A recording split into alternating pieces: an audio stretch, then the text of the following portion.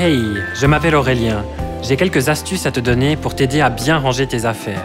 Les espaces ouverts offrent un bon aperçu et un accès facile à ce que tu cherches. Ils permettent aussi d'exposer de manière évidente tes objets préférés.